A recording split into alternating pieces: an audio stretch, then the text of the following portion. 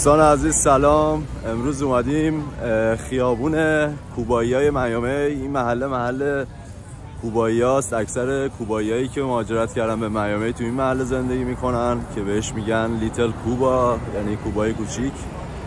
و دوستان این ایر بی ام بی میامه بودش که الان داریم ترکش می‌کنیم. دو تا تراس بزرگ. کلا دیوار نداشت همش شیشه بود. طبقه دوم. یه ویوی عالی این هم یکی دیگه تراسا بود. و اینجا هم ویوی عالی خیابونای شهر میامه منطقه سات بیچ.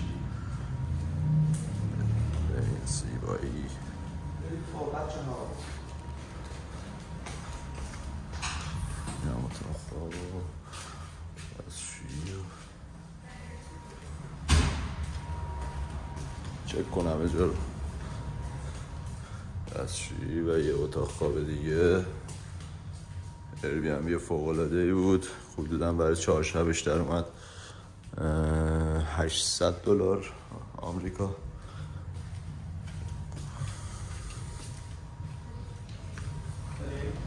و به این شکل. Very good.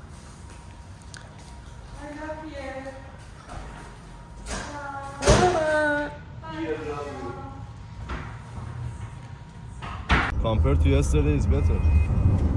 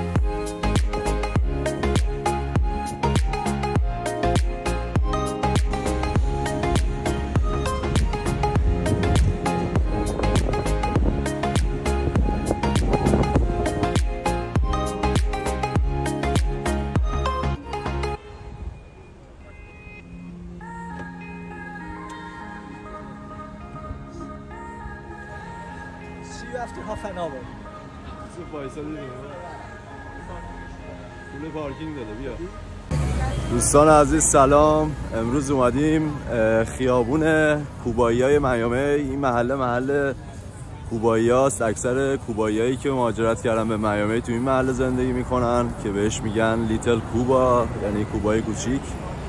و اکثرا مردم کوبا هستن. مغازه ها اکثرا کوباییه. دستفروش های کوبایی و سیگار کوبایی که خیلی معروفه تو دنیا اینجا میفروشن.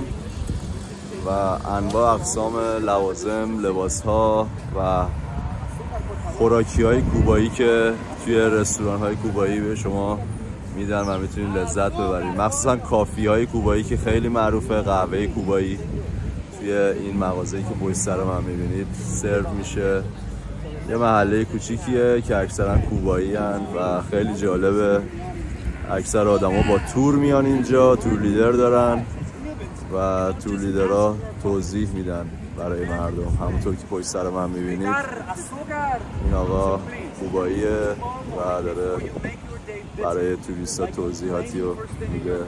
این هم محله لیتل کوبا در میامی.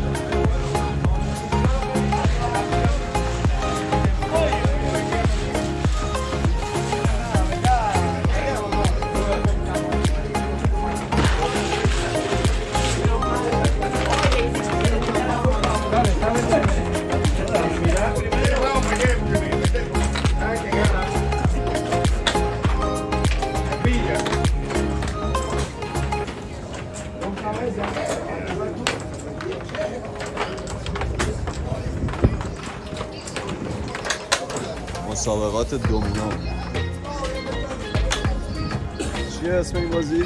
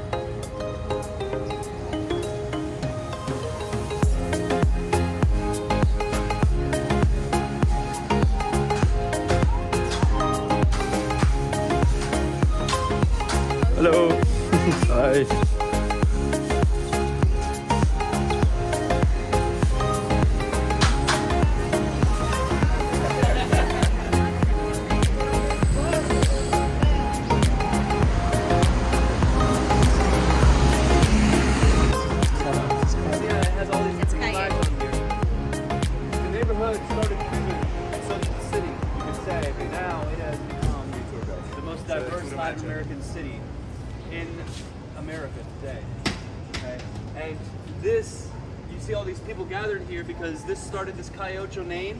We started, we stopped calling it Tamiami, we started calling it Calle Ocho when we threw a block party here. It was the mid 70s, and the Cubans were terrified that they would forget how to be Cuban, that they were becoming too American. So they said, let's throw a party, celebrate what it means to be Cuban. We'll eat what we eat, we'll drink what we drink, we'll dance the way that we dance, and it will be awesome, they said. It was the mid 70s, and every year the block party got bigger and less Cuban. Bigger and less Cuban, and now it's 15 blocks, over 150,000 people, and it's become a competition of who has the most pride for their country. If you take Miami, Tampa to Miami, all the way to the Miami side, you reach the financial district, which all Miami people now call the Latino Wall Street, the Americas, or the gateway to the Americas. The West Coast has a lot of Latins because of Mexican culture, but terms of diversity, Miami is where it's at. You will find everybody celebrating their Latin background in March, usually the 10th of March. And that's the best time to return of Miami because there's no humidity in the air. And we have maybe five other festivals for close home. So you already know to text me if you ever hear.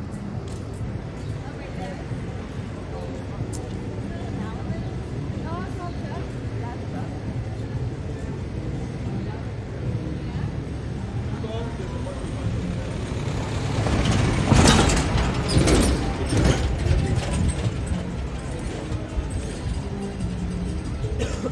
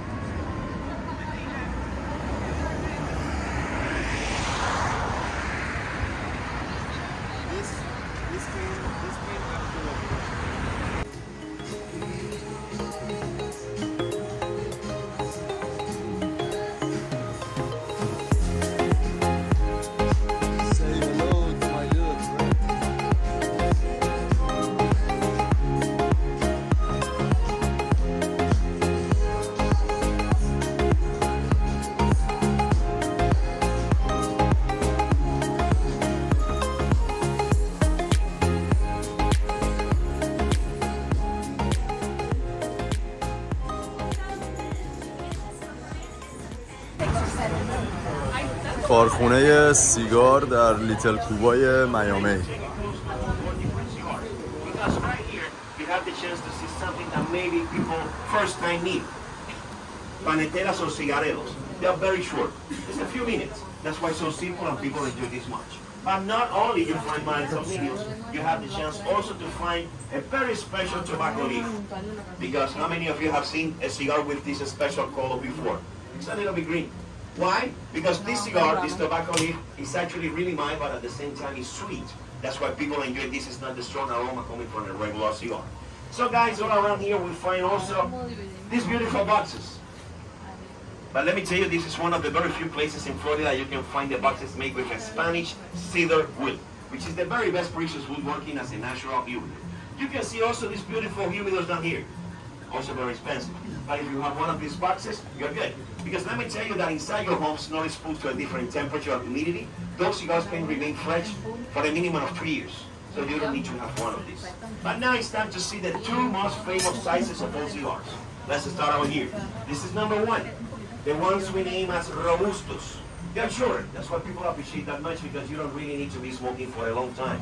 But for sure, the most famous size of all cigars is right here. For two reasons.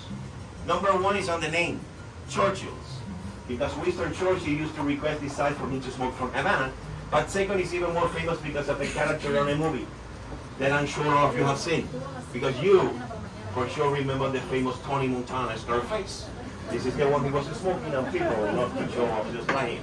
Guys, in this store we can find one more cigar which is a little bit bigger. You see this? This is a real cigar. Yes, it is. And if you don't believe me, you find that cigar right there on the top, waiting for me. One day I'm gonna smoke that cigar. Now, little by little, guys, everybody start coming over here. And yes, you need to meet one of the largest experienced Cuban cigar rollers here in Florida. Come closer. This is the moment we recommend for you to use your cameras for pictures and videos because it's not easy to find a master rolling cigars in front of your eyes. Dalia, Cuban. She has been doing this is a job for only 27 years. And I need all of you guys to say hello to her the only possible way. So please everybody put your hands together and give a round of applause to Dalia. Cuban cigars are the most expensive and famous cigars around the world because of so many reasons. The first one, the conditions that we find in Cuba. Everything is so special for the tobacco to grow. We are talking about temperature, humidity, all the conditions are there very special, but also everything coming from the experience of a large time of the Cuban rollers involved in this process. Let me tell you that first, everything part of a Cuban cigar is going to be totally handmade. We are going to use no machines, making a big difference from some other countries. Some other countries, they actually have very good leaves, but they prefer to have a larger production and then the quality is not the same. We go smaller production, but the quality is really high. Why? Because experience coming from this. Inside of a cigar, you find several leaves. Each one of them is providing something different to the cigar. Strength, aroma, combustion. And yes, they're gonna be totally handmade. They're gonna be prepared one by one. And that's the moment they need to come right here to these molds. You see? When the molds are full already, they need to be covered, looking like this one. And that's exactly the moment they need to come right here to the presses, like the one I have next to me. They need to be pressed for a few hours, as the only way for they to keep the shape. Then return it to the table, which is the moment you're enjoying right now. She's adding the final leaf, the wrapper, the one outside. A very flexible leaf, providing the opportunity for her to stretch that one to the maximum and providing the amazing look you have right in front of you. In a day, eight hours working, someone like her, a master with such a large experience, she can roll totally handmade between 120 to 180 cigars. So the average every day is around 150, correct? So help me with a simple math. She has been working for 27 years, six days a week, and the average of 150 cigars. How many cigars she has rolled so far? That's always the right answer, a lot. But if you want to have an idea, she's about to reach 1.3 million. Wow. So for sure, she can roll a cigar with her eyes closed, and it's going to be perfect anyways. My friend. Thank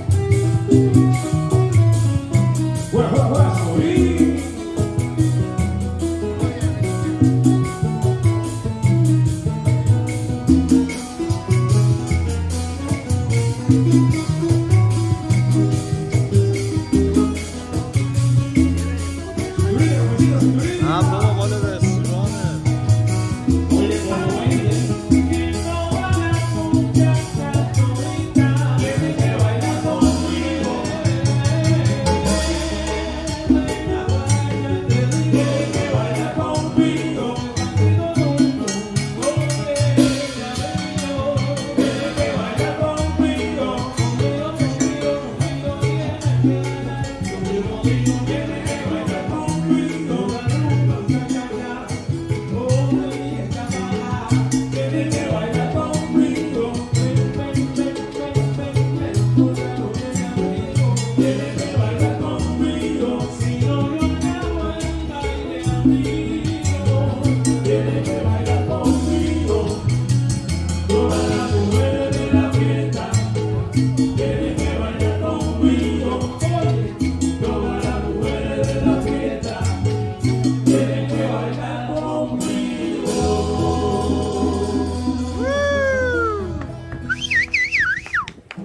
a morir ahora en Cuba, por eso para Carmencita con su show junto al puro este. Welcome to Ball and Chain. You're good. El mejor lugar de Miami, Ball and Chain.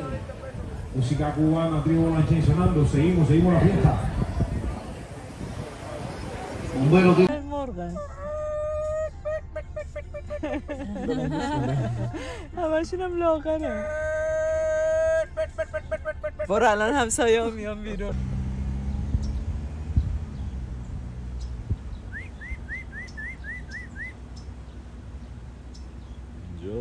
دوستان مرغ و خروس دارن خونه ها.